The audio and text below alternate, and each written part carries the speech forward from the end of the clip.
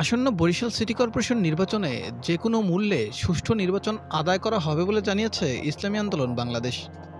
Barishal city corporation নির্বাচনের আর বাকি মাত্র বারো দিন। ভোটারদের কাছে টানতে নিত্য নতুন প্রতিশ্রুতি দিচ্ছেন প্রার্থীরা। বিকল্প নয়, নির্বাচনে অংশ নেওয়া ইসলামী আন্দোলন বাংলাদেশের প্রার্থী মুফতি ফয়জুল করিমও। ভোটারদের কাছে টানতে ঘাম ঝরাচ্ছেন তিনি। নির্বাচনী প্রচারণা চালাচ্ছেন নগরীর বিভিন্ন ওয়ার্ডে। নির্বাচনী প্রচারকালে ইসলামী আন্দোলন বাংলাদেশের প্রার্থী বলেন, নির্বাচিত হলে মেয়র নয়, নগরীর খাদেম হিসেবে কাজ করতে চান তিনি।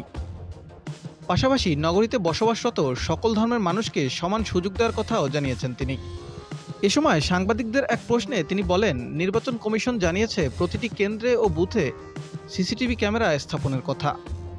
যদি সেটি করা হয়, তবে আশা করা যাচ্ছে, একটি সুষ্ঠু ও নিরপেক্ষ নির্বাচন হবে বরিশালে। এবং ইনশাল্লাহ আমি বিশ্বাস করি যদি সুষ্ঠু নির্বাচন তো অবশ্যই দিতেই হবে আমরা আদায় করব এবং সুষ্ঠু নির্বাচন হলে আমরা বিজয়ী হব ইনশাল্লাহ বরিশালের সকল স্তরের মানুষ আমাদের পাশে আছে।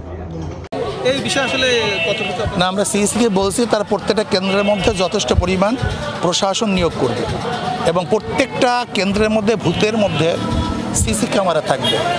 কাজে ভোট কারচুপি করার কোনো সুযোগ নাই বলেই তারা বলছেন এবং খুব শক্তভাবে বলছেন।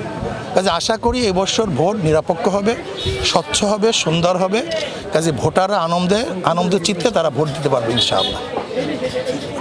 আগামী বারোই জুন সিটি নির্বাচনে তিরিশটি ওয়ার্ডের একশো ছাব্বিশটি ভোট কেন্দ্রে মোট ভোটার দুই লক্ষ ছিয়াত্তর হাজার দুইশো আটানব্বই জন।